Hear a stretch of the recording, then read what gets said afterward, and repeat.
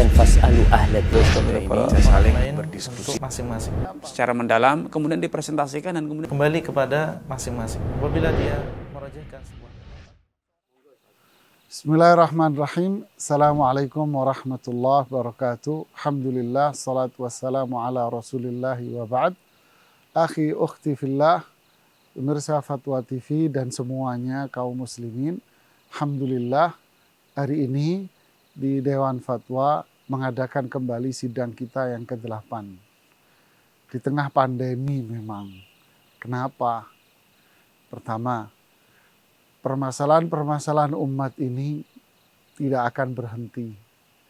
Bahkan semakin hari permasalahan dan problematika itu semakin banyak dan semakin banyak.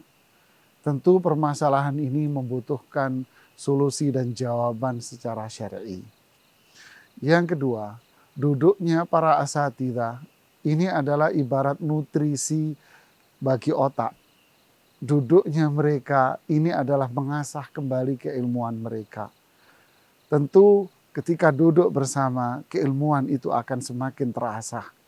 Ketika duduk kembali maka kemampuan ilmu mereka akan semakin hidup dan semakin hidup sehingga umat ini akan mendapatkan solusi yang terbaik dari problematika yang mereka hadapi solusi-solusi secara hukum syar'i. Ya.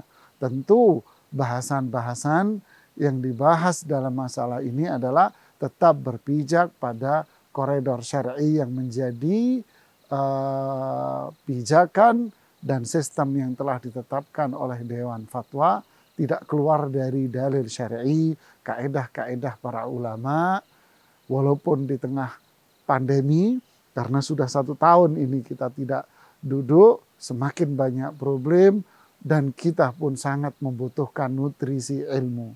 Ibnu Qayyim mengatakan ilmu itu kehidupan.